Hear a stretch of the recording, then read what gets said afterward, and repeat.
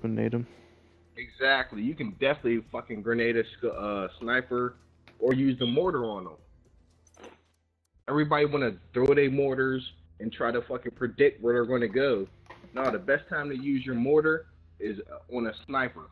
I never use mortars, so I wouldn't know. I'm about to I use a mortar. mortars I didn't get than, to uh, pick my class. That was quick. Other than uh, medic, I'll use mortars. And I'll sit and wait.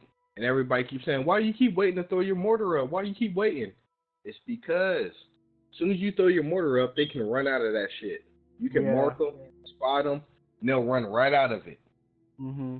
But if you can catch a sniper trying to snipe somebody, and have somebody like, if you have somebody on your team that'll just run out in the open and run Damn, back, dude. Look, y'all, bag up and start shoot. Bag up and start shoot. Saddle up. Bag up and start shoot.